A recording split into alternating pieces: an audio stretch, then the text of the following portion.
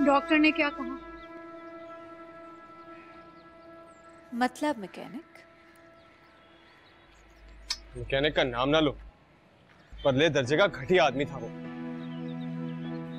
वली ने मुझे सब बता दिया है। ये ठीक नहीं हो सकती। जानता हूँ। फिर इसकी मैयत पर क्यों बैठ? मैं उस पामिश के बारे में सोच रहा हूँ।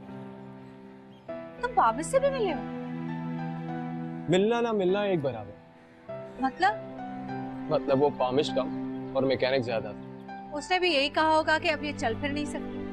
उसने कहा कि मेरी किस्मत इस फॉक्सी के साथ जुड़ी। मतलब उसने ये कहा है कि इसे अपने साथ रखो। नहीं। वो चाहता है कि मैं इसे बेच दूँ। वरना मेरी ज़िंदगी भी इसकी तरह आकर रुक जाएगी। कहता तो वो ठीक है नहीं।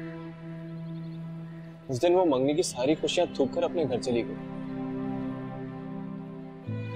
लगा के वो इनकार कर दी।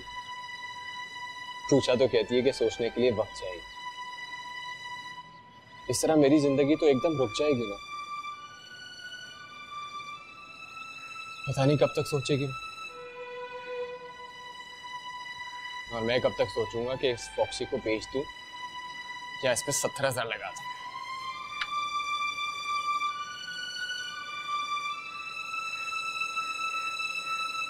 सच्ची बात तो यह है कि अगर आज ये चल नहीं सकती तो क्या?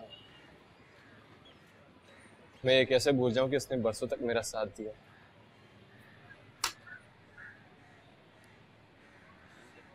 सुबह से कुछ नहीं खाया मैंने। और अब इसकी फुसफुसी शक्ल देखकर मुझे ऐसा लग रहा है कि मेरी भूख मर गई। खाना लगा दो। अरे नीलम तुम भी क्या हो यार? मैं तुमसे पूछ रहा हूँ कि इस पे सत्तर हज़ार लगा दो।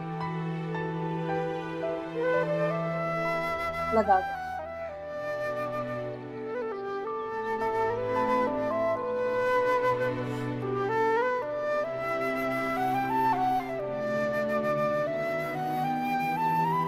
हाँ बोली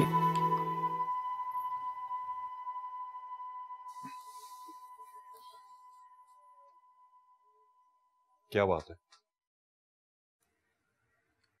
I'm slightly upset. सर तो मैं भी हूँ। तुम बोलो क्या हुआ? It's simple it's so simple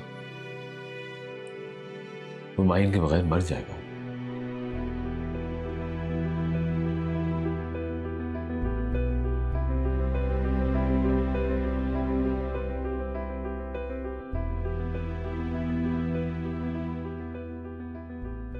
और मैं ये याद दिलाने आया था कि इस खानदान ने पहले भी बहुत जनाजे देखे चलो, वो तो हादसा हो।